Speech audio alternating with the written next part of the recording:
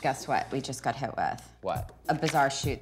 It's Demi, and it's a cover. I know, so it'll be fun. I'm so, so excited. I mean, it's Demi Moore. She's so sexy and gorgeous, and it is our job to make sure that all of those things come out in this shoot.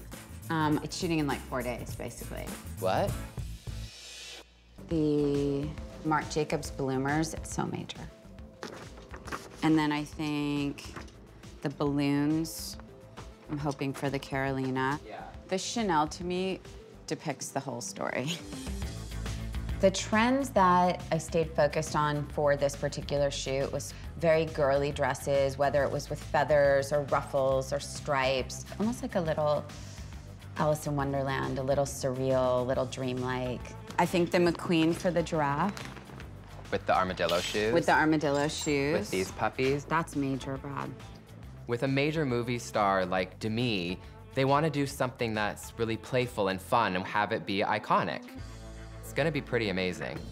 Beautiful. Those were actually my favorite. Uh, They're major. I think do it. Why not? When else are you gonna wear your red crystal Louboutins? Let's do it.